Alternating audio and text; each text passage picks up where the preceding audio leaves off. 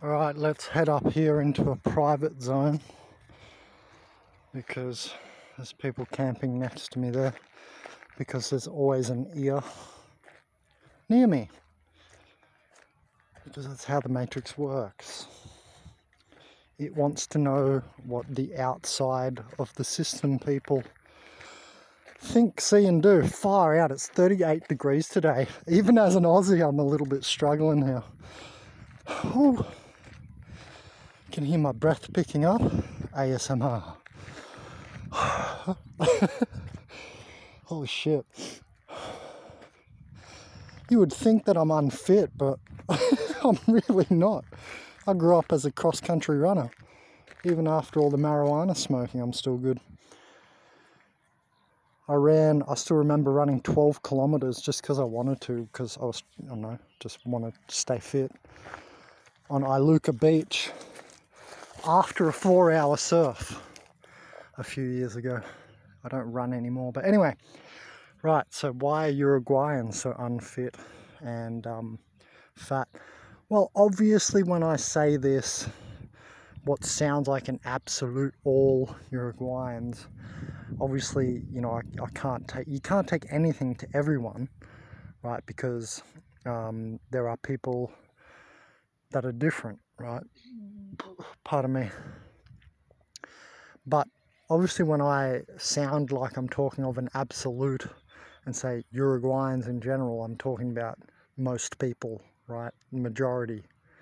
So, yeah, oh, I can rephrase it and say majority. There you go, you happy? but it's, it's generally the culture. That's why I just leave it at Uruguayans because as you're going to see in another video I'll take you in a little shop I, I, just found like the perfect shop who just around the corner here from Camping Piriápolis which has like just the average normal selection of food that I see in every single little corner shop right? Not grand big supermarket but just the average shop in Uruguay. They all stock the same products exactly the same by the way which reminds me of the North Korean video I saw where there was Coronas and beers lined up in this shop and a guy goes in and asks to buy one and they can't buy them because they're just for show. Now it's not like that, it's not that extreme in Uruguay. You can buy everything that's in the shop. It's not like just there on display because in North Korea they're just trying to put up a full-on front to the world, right, that there is a society going on when there's not.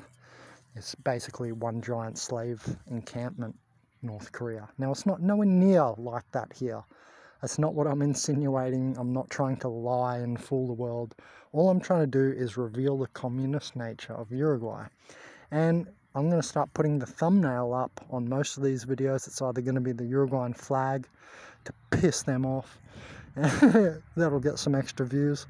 Um, and or the communist party flag which you'll see I've got already on several videos. Which isn't that interesting that that exists. but you know what doesn't exist? A socialist Uruguay flag. Oh, that's interesting. I thought they were socialists. So where is the Socialist Party? How come when I Google, you know, Uruguay, I can find a communist uh, expression, but not a socialist expression flag? Well, that's interesting maybe I'm correct after all. oh god, they're funny.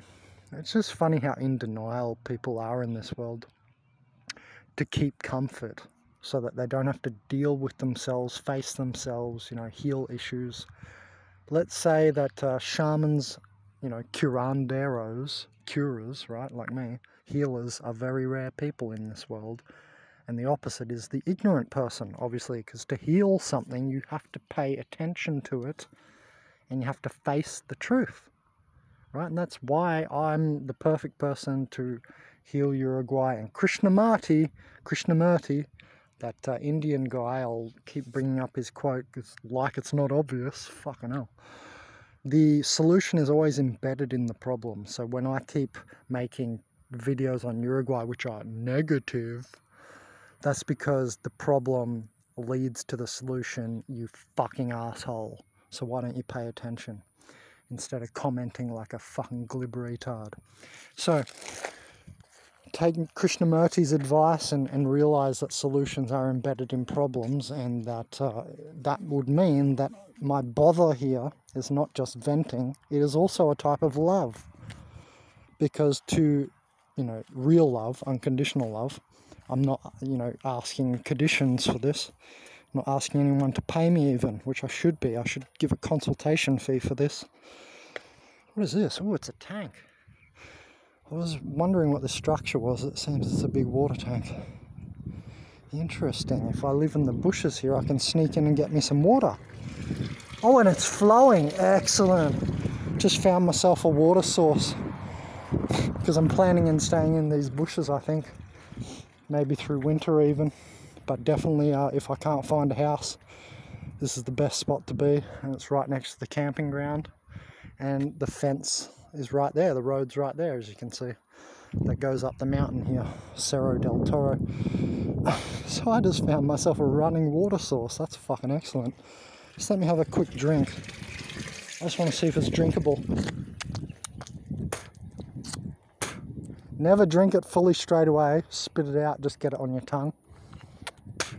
Because then your saliva will deal with it and all that. No, I don't think, I'm not sure I can drink that. It's acidic too. Yeah, that's quite acidic. I don't know what this is. Some kind of tank, obviously. That's weird, hey, it's next to a soccer field too. Quite weird. Anyway, um, I'm gonna head back into the shade because it is a 38 degree day. It's fucking me up. I want to be able to think properly. so what we were saying was, uh, what was this video about? See, now, wow, just a few minutes in this heat, eh? Um, oh yeah, why are Uruguayans so fat is because they have the same products. Now what it is is cheese, milk, bread and meat. That's what does it, right? They're not a culture who uh, has made it very far into the health movement. Remember what was at the end of history was love and psychedelia right at the end. But also what was there was the health movement and the vegan movement, right? Remember that? You are not your body. And so veganism helps you become more uh, your spirit. Because as you declog, the body can take on higher light and that's one thing that Uruguayans have a, a heavy problem with. It's very difficult for them to take on the things that I tell them and and even think, even crunch, move those neurons. They're not a very brain plastic people. They're very stubborn, pig-headed. There's a lot of Italian and German influence, so we know they're going to have that pig-headed and stubbornness from them. Um, and just the food and that's what makes them that stubborn pig-headedness. Then there's the commie vibration, right? The communism vibration, as we've already discussed in just endless videos on this channel. They're not really social. Yes, they are socialists, but they're also communists. And that's the part I'm trying to deal with. God, why is it so hard to understand? I don't understand why it is so hard to understand. Oh, wait, I do. It's because it's very hard for them, like I was saying, to move those neurons. They're not a very brain plastic population due to the food that they're eating. I recently made a video about kombucha, and um, that was in a store near here. Very expensive little kombucha for $6. You saw that on the video. And I was saying how you need like multipli- multiflif- multifarious multifarious nutrition like many you know multiple poly nutrition because this kombucha had just a ton of uh, herbs in it and each herb would have maybe 30 actions right so there's a lot of actions in that kombucha that's why i made a health consultation on it and i said you need elixirs that kombucha which is a tonic was turned into elixir by having so many herbs in it. So, you know, kombucha by itself straight is a tonic. You can take it every day. And uh, that's what a tonic is. It's a daily affair.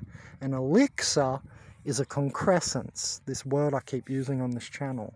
Maybe you should figure it out, but I'll give you a quick hint. A man walking in the trees is a concrescence because we're more complex than the medium. So this kombucha was an elixir, and all elixirs are meant to be concrescences. If it's not a concrescence, if it's not a, a multifluous thing, it's not an elixir. That's part of the definition of an elixir. It's uh, also, you know, that's not the main definition. An elixir means like a life giver and a purity substance. It's like, I, I can never forget this cacao elixir I, I got at Happy High Herbs, um, Australia. Because to, to have a, a cacao base elixir was just par excellent, par excellence, you know, par excellence, uh, epic. So anyway, but also one of the main things, uh, one of the main aspects of an elixir is the multifluous nature. It has to be, you know, a lot of nutrients in there. Otherwise, it's not an elixir. Because an elixir is something that's uh, a concrescence. Like I say, you it's like a psychedelic. You take it rarely, but you you know you take a good dose, so it affects your whole body. Anyway, what were we saying? Sorry, it's really, really hot. Um, look, the, the reason that they're also like fat and unhealthy is um, because it's in the culture. And also mate, you know, the, the national drink of Uruguay, this uh, mate, which is essentially just a sour tea, is pretty cool in winter. You have your hot thermostat carried around your arm and you have a big fat belly and you're a Uruguayo. They're all the same. Trust me, come here, you'll see it, you'll know what I'm talking about. They carry like in their arm, arm like that, their their uh, thermostat, and then they have their little cup in their hand and sipping away. it's it's very uh, very common, and uh, they always have a big gut. now mate creates edema. Do you know what edema is? It's like excess water trapped in the body and it's uh, it's like it kind of shares its habitat with the mucosal membrane uh, and mucosal clogging. That's basically what edema is. It's basically mucosal clogging. It's not just excess water, because water is water is H2O. So it's not just extra oxygen and extra uh, hydrogen trapped in their bodies. You see what I mean? Actually, what it is, it's it's extra mucosa or pus. you know, when you get a cut and it pusses up, what is that? Here it comes, Uruguay, an infection. You're infected because of the meat, because you're not veganizing off the meat, you're not cleaning it out, you're just stacking it up, stacking it up. And what's in the meat? Hormones, all this crap all these things that create infectious nature in the body.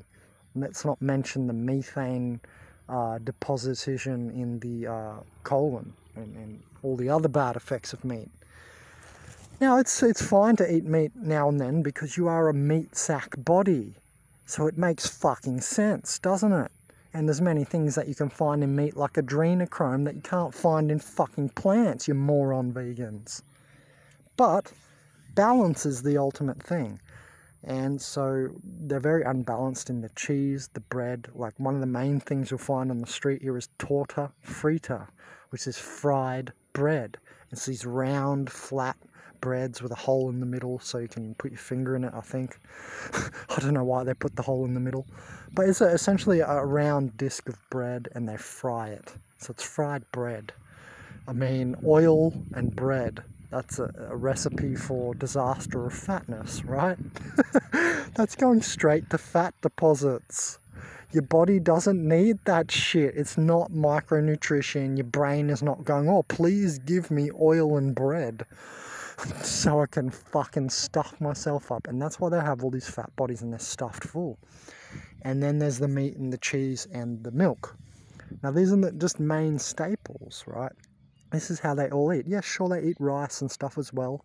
And rice is fattening too. As we know, sumo wrestlers eat rice. So as you can see, you know, the rice, the bread and oil, right, you find torta fritas on every street in friggin' Uruguay. Um, and then the empanadas. Empanadas in many shops are off meat because they're sitting there so long. Actually, I learned at Red Rooster when I was 15. I learnt this. So, what about you 40 year old, 50 year old Uruguayans? Where are you at? Obviously, nobody does research. I learned this when I was 15 at Red Rooster. Bacteria multiply uh, 200,000 every two hours, something like that.